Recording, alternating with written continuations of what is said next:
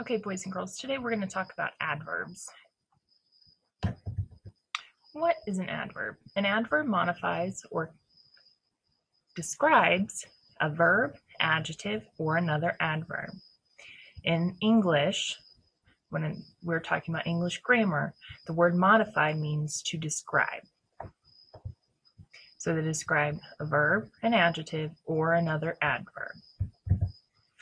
Some examples would be away, today, soon, quickly, slowly, inquisitively, shortly, noon, down, and up.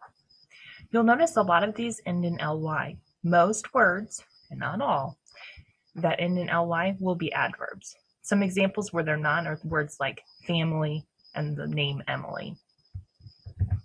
How do I find an adverb in a sentence? Well, you need to ask the following questions how, when, or where after the verb.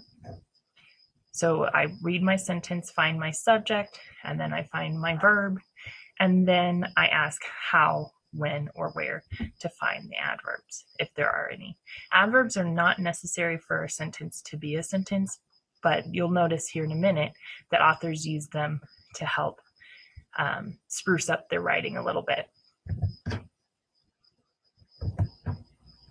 Um, so authors use adverbs to add detail and interest to their writing. Um, if we didn't have adverbs, writing would start to get pretty boring really quickly. Um, so that's why we use adverbs.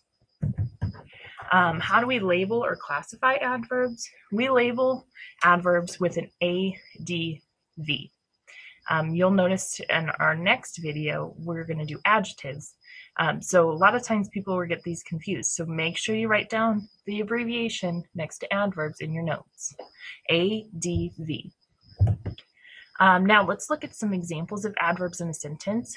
I'd like you to pause right now um, to write these down in your notebook, and then I would like you to label them um, to the best of your ability. You should know all three at this point. Um, so let's give that a try. So I'm going to give you a minute to do that, but make sure you pause if you need more than that time.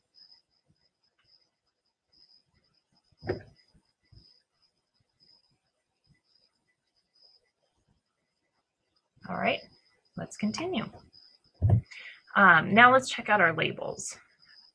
Um, ships sailed slowly. Let's see how we should have labeled this sentence. Let's use yellow. Let's see if we can see that.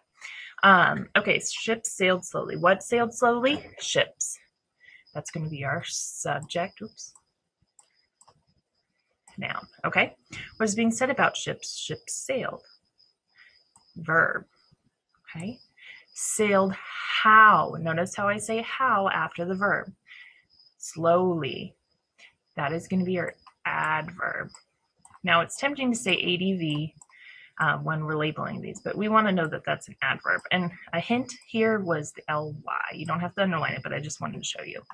Um, and then on the line, you should have your S. Sorry, that's hard to do with the mouse. Um, S N V, and then your pattern on the bottom, P1. Okay. Now let's look at our frogs hopped quickly.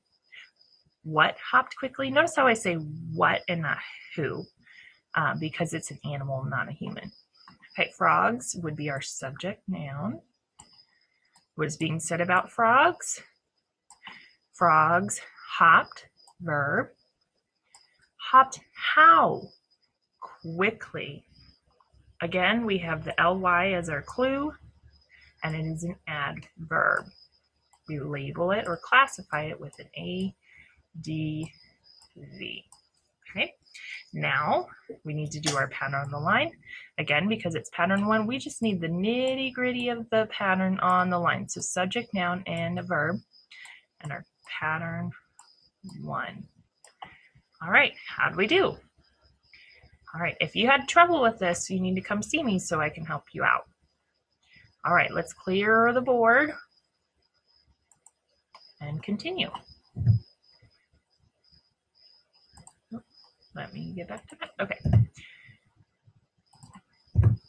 All right, now it's your turn. In your notes or on a slip of paper, write three sentences that use adverbs. They don't have to be very long, but they need to be at least three three words long because you have to have a subject and verb as well. Um, you will show these to me our next class period. All right, let me know if you need any help. I look forward to seeing your sentences.